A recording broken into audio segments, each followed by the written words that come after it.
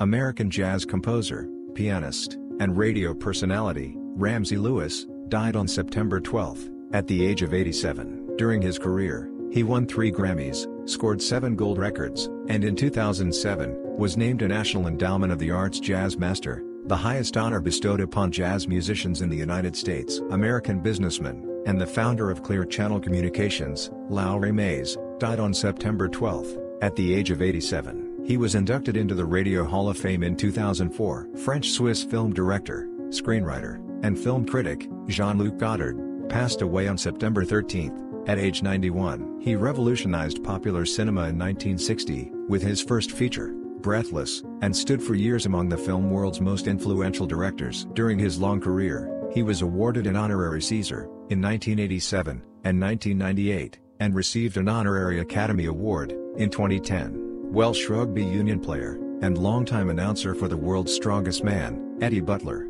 died on September 15, at the age of 65. Some strength sports fans may not know his name, but his voice is unforgettable. Revered Australian actor, musician and artist, Uncle Jack Charles, died on September 13, at the age of 79. Canadian dancer, choreographer and artistic director, Jeanne Renaud, passed away on September 15, at age 94. American actor, Henry Silva, died on September 14, at the age of 95. He was best known for his roles, as Roger Corneal, in the 1960 film, Ocean's 11, Chunjin, in The Manchurian Candidate, and Johnny Cool, in the film of that title. He also was a familiar presence on TV, guesting on such classic series, as The Outer Limits, Alfred Hitchcock Presents, Wagon Train, The Streets of San Francisco, The High Chaparral, and It Takes a Thief. During his 50-year career, he has appeared in more than 130 films and television series. Harry Landis, a British actor and director, whose career spans six decades,